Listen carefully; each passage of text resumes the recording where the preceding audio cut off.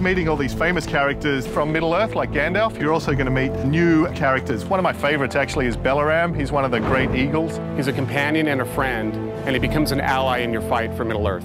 You come across Beleram in Fornost, and you see that he's been captured by the goblins there. You have to rescue him by chopping through the chains that are binding him.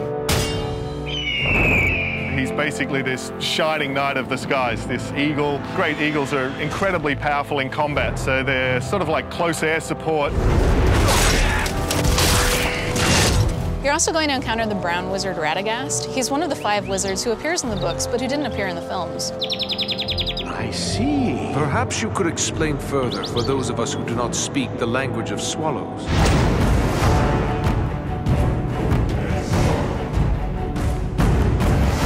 Going to be fighting orcs along with Elrond's twin sons, Elladan and Elrohir. They've been fighting orcs for thousands of years. They're very good at it, and they're going to be a huge asset to you as you play through the level.